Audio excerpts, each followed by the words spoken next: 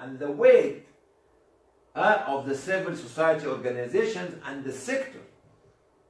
In the good old days, most of the history has been achieved, particularly in, in, in Europe or in America or in the Middle East or in Asia, by the endowment, which were created by the citizens of the country, not by the state of the country, by the citizens, which they contributed donation of lands, other assets, money, everything, because they love to serve their own country and their own nation. So, really, my advice to security, to intelligence, to other state institutions is to encourage the growth of the civil society sector because it is one of the main protectors of the country beside the security and beside the military. And I have developed something called ARM. ARM is the civil society sector, ARM. A stands for allow, never to prevent. Facilitate, allow, A, allow. R stands for regulate. The government has the right to regulate every registered charity. M stands for monitor. Never in the philosophy of thinking of protecting a country is to cripple civil society organization. You cripple the nation, you destroy the country. Allow, regulate, and monitor. And if they are wrong, you close them down or put a penalty on them. This is the philosophy of thinking of how we look about how we look at the value of the sector. Maybe somebody can say, we have a lot of humanitarian organizations raising a lot of millions of pounds. Yes, humanitarian organizations are a part of civil society sector. They are not the civil society sector. In the civil society sector, there are the unions, there are the syndicates, there are the initiatives, there are the non-profit uh, organization, they are the human rights organization, they are the research centers, they are the think tank, they are, there are a lot, a lot, a lot, not only humanitarian, but we succeeded. We succeeded in creating a humanitarian movement. Because it's based on emotion. There is a famine in uh, Somalia, cholera in Yemen, conflict in South Sudan or DRC, conflict in Myanmar, siege in Gaza, conflict and displacement and refugees in Syria. Everybody say give, give, give, give, give, give, give. Emotional. Emotional, which is fine. We need it. But what we need nowadays is to build the sector, which is to make a social movement, to create a social movement based on, bring it back, please, on this one, based on these wires.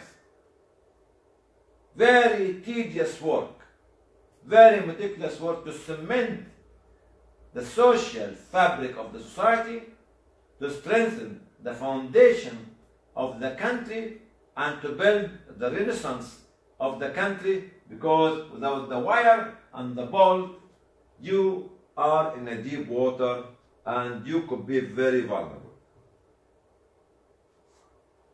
Okay, so now we look at the body of the, for the medics, they understand that all the essential organs of the body represent the value of the civil society and nobody can live without them. Uh, definition of civil society organization, it is a society of individuals made by the citizens, the, the, the citizens of the country, the civilians of the country, not the uh, uh, military and uh, uh, security because they have a different role to protect the civil society organization. Their role is to protect actually the civil society sector. Next one, please. again, it's all the organizations. Let me say unions, يعني it, it is has a cross cutting cross cutting of every action in the function of the society in the country that you need whether it's in agriculture, it's in art, it's in drama, it's cinema, it's in sport, uh, it's in industry, uh, it's in water and sanitation, road, uh, what else you talk about? Uh, uh, uh, rights of people, rights, uh, rights of people as well, uh, climate, uh, heritage, uh, history. Uh, uh, when we talk about the, the, the, the treasure of the country, the resources, all this is cross-cutting to find somebody in the country, a citizen or a group of citizens in the country are interested in climate change, are interested in preservation, are interested in agriculture, are interested in history, are interested in building roads, are interested in so this is when you allow the millions of the citizens of the, the, the country to contribute to reflect their civility uh, and contribution to build their own country. The role of the civilian in building his or her own country and the renaissance, making the renaissance or creating the renaissance of uh, the country to become one of the leading countries. Uh, an aim, the aim is to improve the lives, not only of human being, to improve the climate, to improve the lives for animals, birds, and so on, to improve the services, and all this will serve the quality of life of man and woman who are living in such a country. I'm saying this to us in English. Why? I know that most of you are living in the, the, the, the Western Hemisphere, where this for you could be a, a piece of cake. But some non-Arabic speaking living in somewhere else might need this information. But actually I'm reminding وذكر فإن الذكرى تنفع المؤمن remind people so the reminder will help people. A component uh, مكونات اللي بنتكلم عنها What is this? The components of every individual who are trying to build the sector. Every individual, every creation of Allah. Some missing creation might be very essential for building a part of the society that we want to create. Next one. The values of civil society organization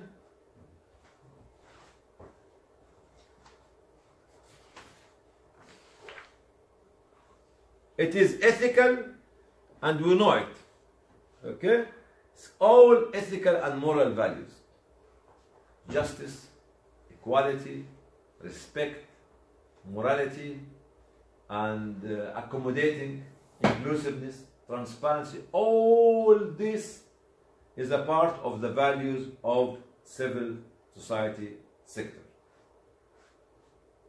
Uh, features of civil society organizations. The specification of civil society organization, top on the agenda is respect. Especially when you are a part of the majority and you have a small minority communities living in a marginalized societies. Have to respect their opinion, their culture, everything. Uh, the second one is the power, okay, the influence of, of, of the society, so the societal influence. Third one is it has structure. Civil society organizations must have a structure, hierarchy into it. It is very quick to respond to anything and it reaches the disaster area, we call it the first responder. The first responder and disaster borne area are the local area, the local organization, the local neighborhood. This actually respond to the disaster before the government started to give the decision from the capital and send the aid to the periphery. It is non-profitable. Okay, it's non-profitable as well, and it has a clear aims and objective, which is actually to serve the society to serve the country and the nation and has its independence. Actually, it's work independently, uh, guided by the local law of the government.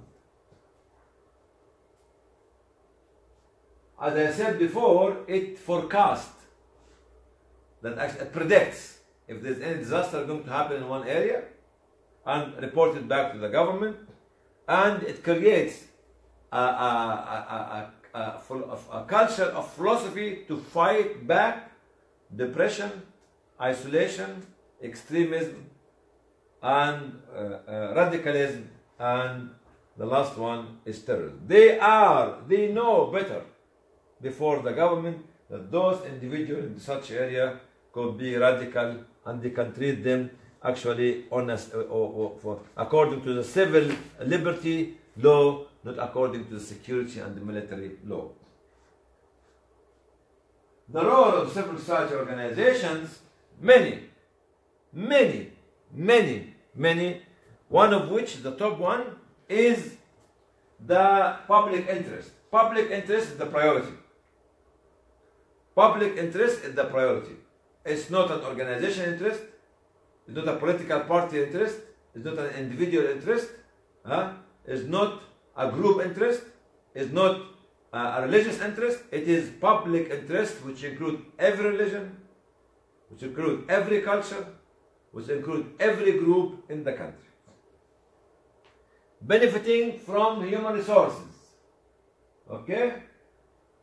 Benefiting because they have to empower the human resources, the individuals, and through the voluntary activity, respecting the dignity of everyone in the, in the society, and it becomes like the free platform when everybody can uh, uh, air their dreams and how to build or how to help their own country. The second thing, actually, to include youth and women in the decision making process.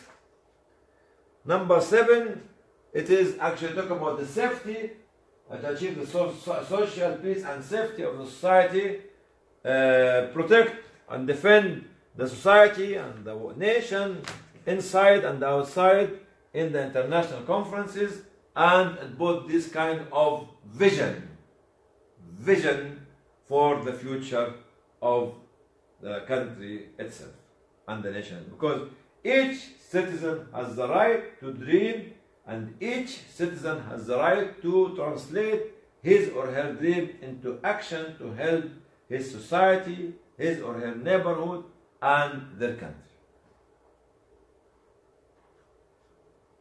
What affects the development of civil society organization? Okay? Accountability. Accountability is a big name, huge name. They are accountable to. Any civil society organization is accountable to the creator, accountable to the government, accountable to the donor, accountable to the people who are benefiting from it, accountable to the public, accountable to any criticism. So accountability is extremely important. Transparency. We have to be extremely transparent, especially when we make a decision how to spend money here and not to spend money there. Actually, also the, the, the, the freedom space provided to the civil society sector by the government. The more you provide a freedom space to the civil society sector, the more initiatives, the more innovation, the more value driven, uh, need driven uh, projects and products will be produced by every citizen in the country. The less freedom you give to society, the less you have of this contribution from civil society organization and the more extremism and radical feeling you'll have from the citizen of the country.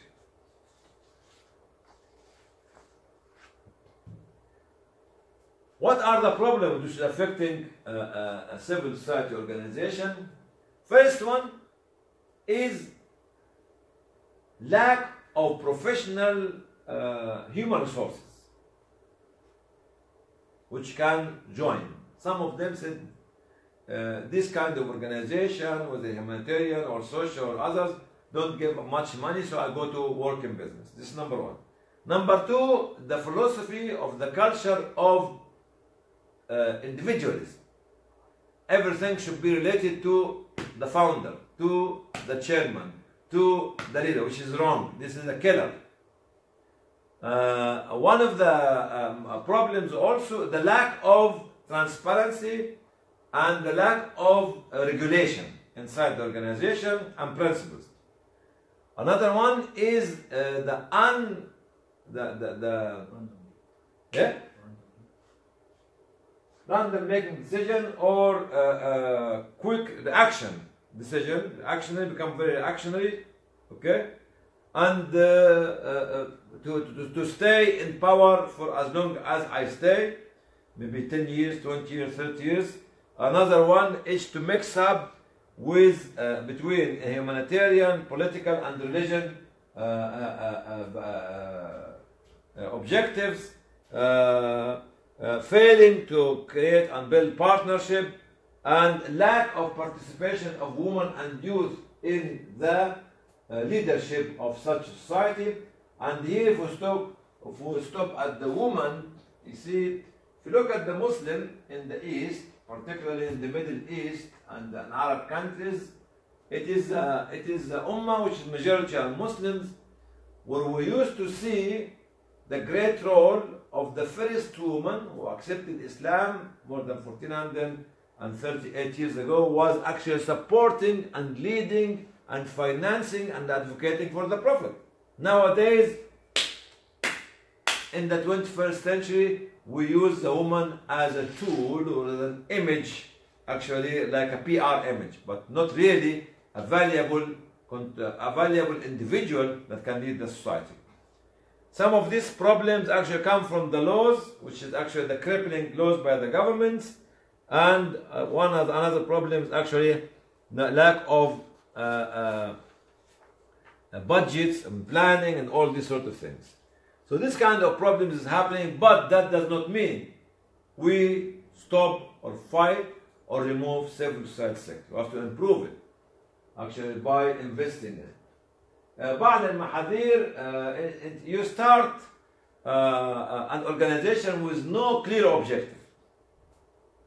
Okay, uh, you contradict the culture of the host country or the local community. Uh, sometimes the, the, the, the uh, funding could come from different sources which can lead to uh, uh, fight on the source of funding and fight on how to spend the funding. Uh, some of the organization could have a different agenda to uh, create conflicts. This also some of the cautions which we have to do it, and depending on the donor, not becoming taking initiatives or, or actually to the foreign donors especially, uh, which this can, can, can cripple our organization, uh, the, uh, the, the, the driven agenda from outside, which might contradict the government policy, uh, the, the religious institution which are forcing people to change their, the, the, the, their religions and become very selective in uh, uh, choosing whom we help. Coming back to conclude, um, I did not talk really about civil society in depth because if we're going to talk about civil society in depth, I have got a very long uh, presentation, very long presentation. It might it might not end in 20 minutes or 30 minutes. It might take one and a half hour to go through all the different kinds of functions and benefits that civil society. If we come come back to the first two slides, please. I keep saying now civil society sector is the first one. The first one. The first one. It is the missing obligation, al-farida al-ghaiba.